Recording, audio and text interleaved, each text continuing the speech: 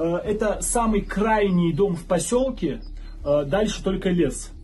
Поблизости даже нет жилых домов.